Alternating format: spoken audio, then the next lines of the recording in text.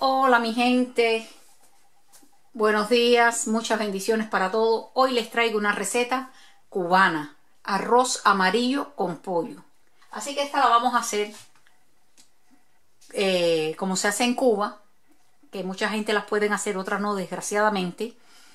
Y vamos a empezar ya con la receta.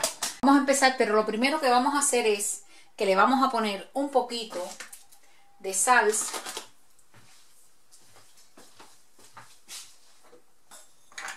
un poquito de sal a, nuestro pollo porque hay una suscriptora mía que me dice, ay Marti, yo pongo el, pollo en la olla junto con el arroz.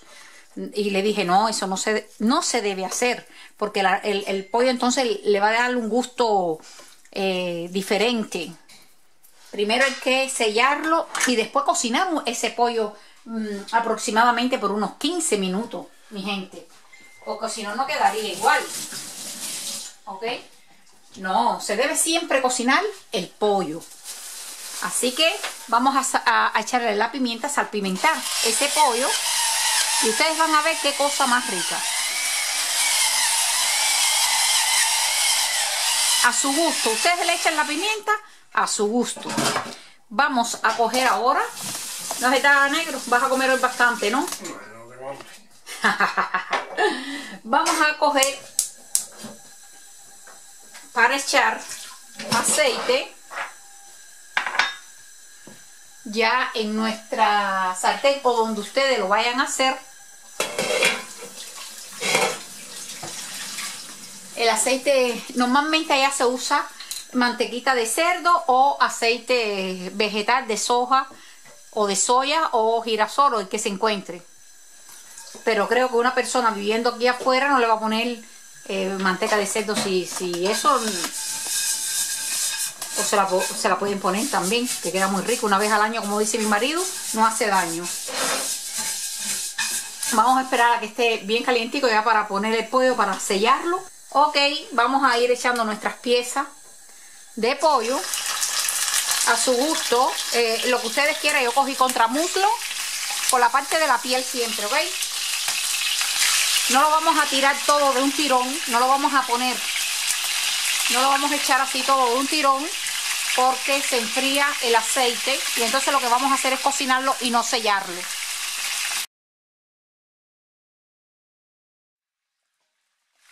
Ya cuando vemos que nuestro pollo está un poquito dorado, que se haya sellado, lo vamos a ir sacando.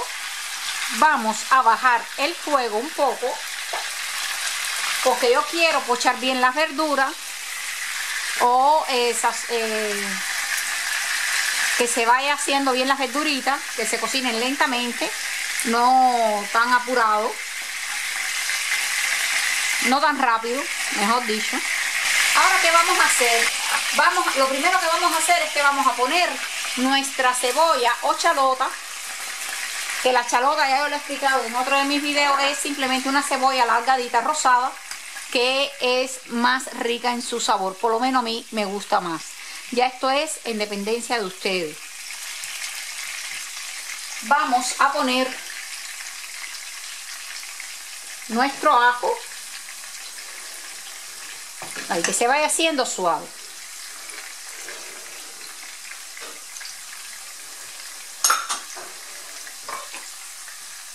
Vamos a poner el orégano, el laurel, eh, perdón, el orégano no, vamos a poner el laurel, vamos a poner el laurel, el, el cilantro, el ají cachucha o en este caso si tienen pimiento alargadito tipo italiano verde con un pedazo de rojo, mm, se lo pueden poner o rojo o verde o lo que quieran ustedes. Con nuestro cebollino, el cilantro, y el ajito porro, como se le llama en Cuba. El ajito porro. Y ustedes van a ver, esto tiene un olor. Ustedes van a ver qué cosa más rica. Le vamos a poner un poco de sal. O sea, yo casi siempre en el pochado le pongo la sal que lleva. Ya después rectificamos. Le vamos a poner así, una cucharada rasa. Así. O, o casi media, media. Así nada más. porque eh, ahorita le eché al pollo para salpimentarlo, le eché. Así que, y esto hace que la cebolla se ablande mucho más rápido y suelte todo su, su agua. Y así ya coge ese sabor ahí adentro. Vamos a ponerle media cucharada de orégano.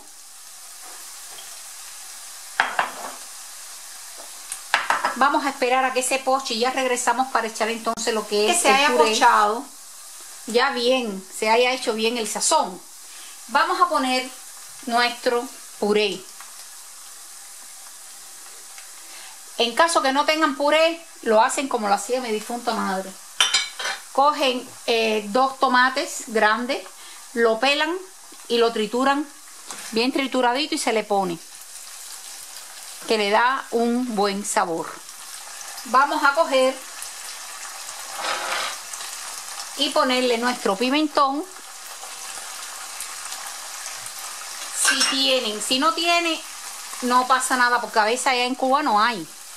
¿Ok? Hay muchas personas que a veces no tienen. Mi hija sí porque a veces yo le mando o ella se lo lleva de aquí cuando viene yo le compro un paquete bien grande y así. Pero hay muchas personas que desgraciadamente no lo tienen. Vamos a ponerle un poquito de comino. El comino no puede faltar. Media cucharadita. Escucha, una cucharadita que viene siendo media cucharada. Y vamos a poner nuestro pollo. El pollo debe cocinarse por lo menos 15 minutos. Usted no puede echar nunca el pollo ahí y seguidamente el arroz porque ese pollo necesita cocinarse. ¿Ok? Mi suscriptora, ella, ella lo hacía así. Ella hacía esto así ya y le echaba el arroz. No, así no se debe hacer.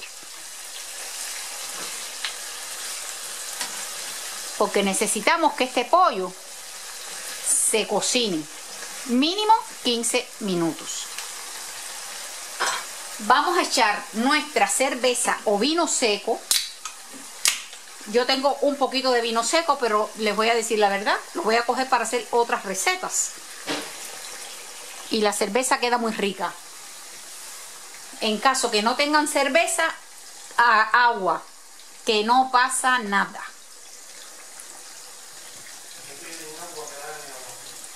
Exacto. Le ponen así. Y vamos a cocinarlo con fuego medio, medio, para que no se nos gaste tanto, pues ese pollo. Y ya regresamos con nuestro arroz ya lavado para agregárselo. Lo tapamos y estamos prontos. Bueno, mi gente, a la vez que ha pasado los 15 minutos, ya que ese pollo esté cocinado, entonces que le vamos a echar nuestro arroz.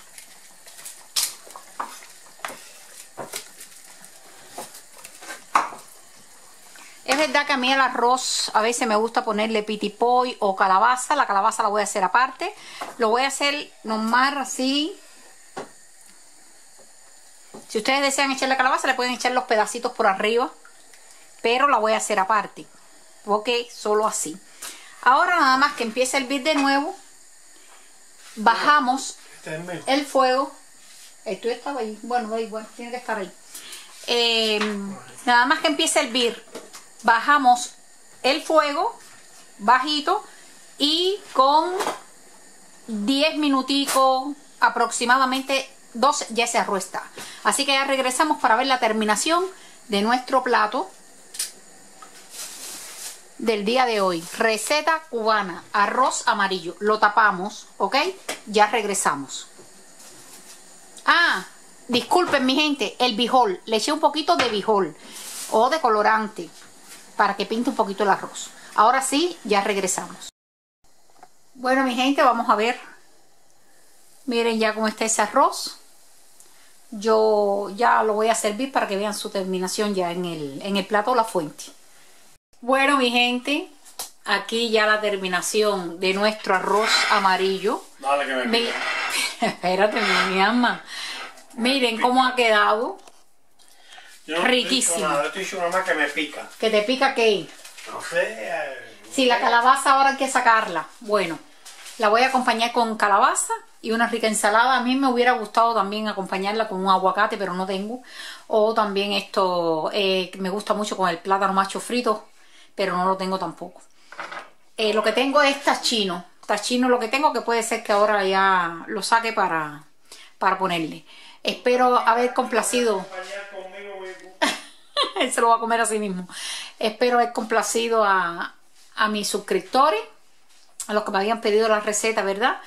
Que sea del agrado de todos ustedes y que la pongan en práctica. Y A, que recuérdate, nos pidi- a quien haya pedido la receta no solo, sino a a- quienes así también que la están que- buscando, que claro. buscando, que Y quieren. para mi suscriptora, la que me escribió, que ya sabe que el pollo se debe cocinar por lo menos unos 15 minuticos y después se le pone el arroz.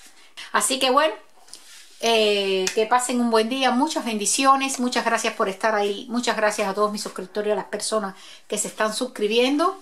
Y como siempre digo, mi gente, si Dios quiere y lo permite, pues seguiremos En en la siguiente siguiente receta o en el siguiente blog. Chao, mi gente querida.